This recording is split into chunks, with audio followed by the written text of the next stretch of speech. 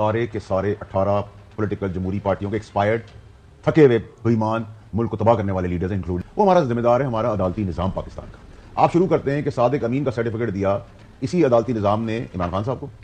फिर आधी रात को कोर्ट्स ने खुली कनपट्टी पर बंदूक रखी, बारह बजे का टाइमलाइन दिया और कहा नो वर्ड ऑफ़ कॉन्फ्रेंस कराओ। फिर आप पचास रुपए स्टैंप पेपर इस मुल्क से बाहर भेज देते। फिर चार साल मफलूज रहते, कोई सुमो नोटिस कोई नोटिस कोई लीगल टर्म नहीं होती कि उनको वापस लाया जाए। अब आप हवा जो चल रही है, वो डायरेक्शन तो अदालती निज़ाम हमारा बताते हैं कि अब ये काला था, ये सफ़ेद हो गया अब इसकी तरफ़ रॉ किसी का भी मुँह मुड़ गया है, उसको सलूट लग रहे हैं। उनको कहा है good to see you sir कोई एम्बेसडर आ रहा है, कोई पुलिस आ रहा है बेटी जो है, वो नौकरी करने जाती है, दस रोटी खाने के लिए। उसका रेप होता है, उसकी इज़्ज़त लूटी जाती है, उसका कत्ल होता है, उसकी वीडियो आती है। लेकिन कानून अंधा बैरा लंगड़ा, लूला कुछ नहीं दे पाता। अब मैं कहता हूँ, जी, इमरान खान समेत, नवाज़ शरीफ समेत, पीपल्स पार्टी समेत, मौलाना समेत, ये सारे बीस लोगों को साथ बिठा ले। बोलो, मुल्क चलो तो जिन्होंने तबाही की है मुल्क की, वो मुल्क चलाएँगे। डॉलर आसमान से बात करेगा जिसमें ये जमहूरी हुकूमत आ जाएगी। पेट्रोल आसमान से बातें करेगा। बलोचिस्तान में आ जाएगा, बिजली फ्री होगी। क्यों भाई? यहाँ शहद की नहरें की नहरें बहना शुरू हो गए डायमंड निकल आए। क्या हमारा कर्जा माफ़ हो गया और तीस चालीस बिलियन डॉलर हमारे अकाउंट में आ गया? किस तरह माफ़ करेंगे भाई? बताएँ। इनका होना चाहिए बात भी नहीं है ये।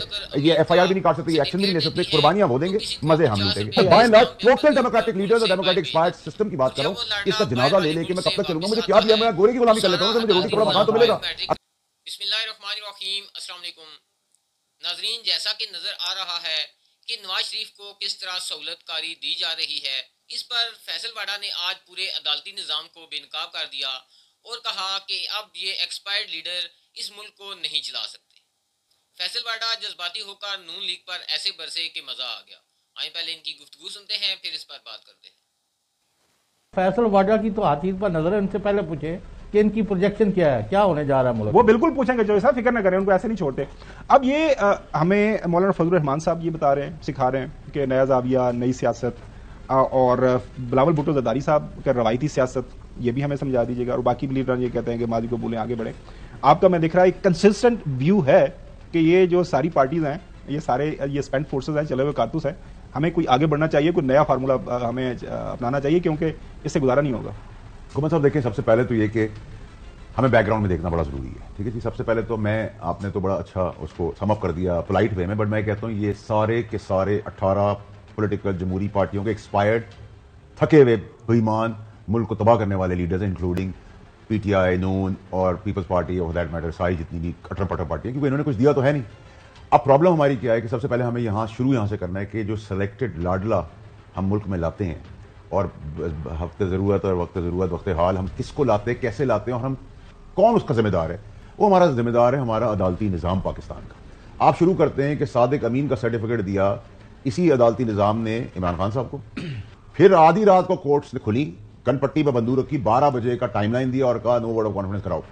प्रेशराइज किया और प्रेजेंट मैन की। फिर सिंपति के लिए वापस टर्न अराउंड हुई इमरान खान साहब की तरफ़। नवाज़ शरीफ साहब को ओवर द काउंटर पे पैसे ना लेने पे नाहल किया। फिर उनको जेल में कहा कि पचास रुपए के स्टैम्प पेपर पे गारंटी दो जो अल्लाह मियाँ कर सकते हैं। ठीक है? कि ज़िंदगी मौत का फैसला। वो कह रहे हैं, आप बताएँ, आप जिम्मेदार होंगे। उनको फिर उस पचास रुपए स्टैम्प पेपर पे निकाल देते हैं इजाज़त देते। हैं और मोहतरम जस्टिस साहब हैं, उन्होंने बड़े हिस्टोरिकल फैसले किए हैं। मैं अप्रिशिएट करता हूँ उनके फैसलों में मेरे को फैसला ही पड़ा हुआ जिसमें उन्होंने कहा है, अथर मिन्ना साहब ने, कि नून लीग या नवाज़ शरीफ साहब को अगर मसला है, बीमारी का तो वो पंजाब गवर्नमेंट से रुजू करे। तो श्योर कानून के अंदर कोई ऐसी शिक होगी जिसमें इतना हमारे पास ह्यूमैनिटी ग्राउंड मौजूद होंगे। फिर आप पचास रुपए के स्टैंप पेपर इस मुल्क से बाहर भेज देते फिर चार साल मफरूरी रहते हैं, कोई सुमो नोटिस कोई नोटिस कोई लीगल टर्म नहीं होती कि उनको वापस लाया जाए। वो मफरूरी गुजारते हैं, उसके बाद फिर वो आने की करते हैं। जब आने की करते हैं तो जो मैंने सारे प्रोग्राम्स देखे, मैं लॉयर तो नहीं, लेकिन उन्होंने कहा, ये पॉसिबल नहीं है कि वो जेल जाए बगैर हो, लेकिन कानून में शिक हो सकती है, क्योंकि हमारे वहाँ कानून तो जो जबान से निकल गया, वो कानून बन गया है। ठीक है हफ़्ते हार हफ़्ते ज़रूरत, अपनी मर्ज़ी जिसकी जो है, वो कर सकता है। तो उनको बेल दे दी। तो बेल देने के बाद जब आ गए तो फिर आप गिला कैसे कर रहे हैं? अब आप हवा जो चल रही है, वो डायरेक्शन तो अदालती निज़ाम हमारा बताते हैं कि अब ये काला था, ये सफ़ेद हो गया है। अब इसकी तरफ़ रॉ किसी का भी मुँह मुड़ गया है, उसको सलूट लग रहे हैं। उनको कहा good to see you sir कोई एम्बेसडर आ रहा है, कोई पुलिस वाला आ रहा है। किस दावी के तहत आ रहा है? क्या पोजीशन है उसकी? ये किसी को ज़रूरत नहीं। कन्विक्टेड है, नहीं है। बेल हो गई। बेल हो गई ब्यूरोक्रेसी का तो आप ये कि हमारा अदालती निज़ाम। जो एक लैंड क्रूजर एक सिपाही को नीचे दे देती है, उसकी वीडियो आती है, वो बंदा मुजरिम बाइजत बरी हो जाता है। एक बेटी जो है, वो नौकरी करने जाती है, दस रोटी खाने के लिए, उसका रेप होता है, उसकी इज़्ज़त लूटी जाती है, उसका कत्ल होता है, उसकी वीडियो आती है, लेकिन कानून अंधा बैरा लंगड़ा, लूला कुछ नहीं दे पाता। उसके बाद एक बच्ची जज के घर में जाती है काम करने, उसकी बीवी उसका दिमाग का भेजा फाड़ के उसके कीड़े डाल देती है, उसको उठा के सड़क में फेंक देती है, लेकिन बेल मिल जाती है। तो ये अदालती निज़ाम को आप ये कहें क्वेश्चन में आप लाएँ। ये ना करें ना कि हम कहते हैं जी वो ताकतवर हल्का वो स्टेब्लिशमेंट वो फौज। वो भाई फौज गई थी गाड़ी लेने फौज ने बेल दी थी फौज ने जहाज़ में बिठाया था फौज ने निकाला था। आप सेकेंडरी तो बोल सकते हैं प्राइमरी नहीं बोल सकते। कभी आप किसी को गन पॉइंट पे कहते हैं ये कर दो कभी कहते हैं वो कर दो कभी कहते हैं। ये पूरी दुनिया में अदालती निज़ाम को आप कहते हैं जब खैर मकदम करते हैं। तो खैर मकदम करें फिर फिर, मातम ना करें फिर लोगों को ब्लेम ना करें। आप एक तरफ़ कहते हैं कि हम में से कोई गुमन साहब नारे लगाते हैं कि हम जान देने को तैयार है। ना कोई बिजनेसमैन ना कोई ब्यूरोक्रेट ना कोई डेमोक्रेट ना कोई पार्टी का पॉलिटिकल आदमी, ना कोई लीडर कभी आपने सुना है कि गया? होगा जी बॉर्डर पर झगड़ा हो रहा है, मैं जान देने जा रहा हूँ। नहीं नहीं नहीं। यहाँ तकरीर करते हैं, एक झंडे में उस शहीद की लाश को दफन करते हैं और फिर उसी की तमस्कर उड़ा के सारे लीडर्स तमाम, जिनके ना बुक्स भरा हुआ है, जो पंजाब पुलिस बनाना चाहते हैं, वो फौज का तमस्कर उड़ा के उसी के ऊपर अपनी सीढ़ी और सियासत करती है तसाब भी इनका होना चाहिए, बात भी नहीं चाहिए ये एफ़ आई आर भी नहीं काट सकते ये एक्शन भी नहीं ले सकते कुर्बानियाँ वो देंगे मज़े हम लूटेंगे। ये पॉसिबल नहीं चलें आगे बढ़ाते हैं। चलिए साहब आपका सवाल। नहीं मैंने तो यही पूछा था कि अभी ये क्या देख रहे हैं? प्रोजेक्शन क्या है? इनकी कई चीज़ें ठीक दुरुस्त साबित हुई हैं। कई नहीं काफ़ी ज़्यादा चीज़ें बुनियादी तौर पर आप बच्चों साहब जानना ये चाह रहे हैं और हम भी ये जानना चाह रहे हैं कि पिछले दिनों में आपका बयान भी सुन रहा था कि अगर ये सारे का सारा जिस तरह निज़ाम बनाने की कोशिश की जा रही है बन भी गया ये बारह बारह चौदह महीने अठारह महीने चलेगा उसके बाद फिर back to square one so इसका थोड़ा सा एक्सप्लेन कर दीजिएगा कि इसके पीछे आपकी मंतक क्या है। अगर ये सारा माहौल एक तरफ़ चल रहा है जिस तरह आप आप भी ज़िक्र कर रहे हैं तो फिर ये बारह चौदह अठारह महीने के लिए क्यों? और अगर सिर्फ़ बारह चौदह अठारह महीने ही होना है तो फिर इतनी बड़ी एक्सरसाइज करने की क्या ज़रूरत है? अभी इकोनॉमी ठीक हो रही है मामला तो बेहतरी तरफ़ चलना शुरू हो गए तो वाई नॉट लाइक कोई इस तरह कोई सिस्टम का बहुत ज़बरदस्त सवाल है। मैं आपसे रिक्वेस्ट करूँगा मुझे दो मिनट दे दीजिएगा पहले भी दिया है दे रहे सर मैंने यही कहा साहब सबसे बेस्ट बात यह है कि हम सब शर्माते हैं, घबराते हैं, परेशान होते हैं कि अगर हम ये कह दें पब्लिकली बैठकर कि जी ये सारा जो आज डॉलर नीचे आ गया स्मगलिंग रुक गई अच्छा जो है रोज़मर्रा की वो कंट्रोल में आ रही है, एक बेचैनी पाकिस्तान में खत्म हो गई और इसका सिरा और क्रेडिट चीफ ऑफ़ आर्मी साहब को जाता था, ओह जमहूरियत जमहूरी लोग सब तड़पना ढोल पीटना शुरू कर देते। भाई जिसका जो क्रेडिट आपने अच्छा काम किया, आपको क्रेडिट मिलेगा। अगर एक चीफ आर्मी साहब अपनी जेब को नहीं देख रहा और मुल्क की सालमिया तो मुल्क के लोगों का सोच रहा है और एक अच्छा काम कर रहा है, हमें अप्रिशिएट करना चाहिए। आप कहते हैं जी वो डंडा सोटी चला रहे हैं। ठीक है, डंडा सोटी क्या होती है? गवर्नेंस किसका नाम है? कि आप पिन पॉइंट करें, अपनी एडमिनिस्ट्रेशन मैनेजमेंट करके उसको सही सिम पे लिया सही सिम पे आ गई। चीफ जस्टिस साहब है फाइजा साहब, वो भी डिवाइन हेल्प अल्लाह ताला उनको लाया हम एक्सपेक्ट कर रहे हैं कि अरशद शरीफ और दीगर बहुत इंपॉर्टेंट केसेस के अंदर फैसले होंगे। मंत्री के नाम पर पहुँचेंगे।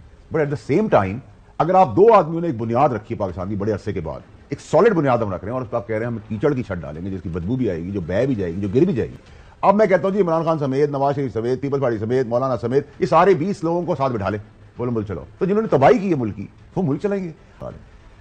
डॉलर आसमान से बात करेगा, जिस वजह जमहूरी हुकूमत आ जाएगी। पेट्रोल आसमान से बातें करेगा, रोटी, कपड़ा, मकान। आपने इंसेंटिव्स क्या दिए बलोचिस्तान में आपने जाएगा, बिजली फ्री होगी क्यों भाई, यहाँ शहद की नहरें, दूध की नहरें बहना शुरू हो गया डायमंड निकल आए क्या हमारा कर्जा माफ़ हो गया और तीस चालीस बिलियन डॉलर हमारे अकाउंट में आ गया किस तरह माफ़ करेंगे भाई? बताएँ तो। आपके डैडी का मुल्क है। मैं आपको कहूँ आज से लाइट आपकी बंद। आप मुझे पूछे, भाई, तुम कौन हो? किंग हो? बादशाह दूसरी बात देखा जो फैक्ट्री लगाएगा। प्लान देखे। जो फैक्ट्री लगाएगा, उससे कोई पूछ नहीं होगी। तो इसका मतलब है कि मेरी फैक्ट्री लगाऊँगा तो चलाऊँगा नहीं, क्योंकि मेरा जो काला धन है, उसको मैं लीगलाइज कर दूँगा। ठीक है? नंबर तो भाई एमनेस्टी देते बोलो, जितनी चोरी कमाल है, सब लेके आगे सामने खड़े हो तीसरी चीज़, कि पौने छह करोड़ लोग हैं, जवान बच्चे यंगस्टर्स उनका फैसला इरफान सिद्दीकी साहब काबिल इज़्ज़त आदमी मेरे मेरे लिए। इरफान सिद्दीकी साहब जो अस्सी साल के आदमी है, पचहत्तर, अस्सी साल के आदमी वो पच्चीस साल के, बीस साल के लड़के, लड़की का फैसला करेंगे। इसका मतलब यह है कि मेरे वाले बहुत अच्छे ड्राइवर थे, पचास साल पहले।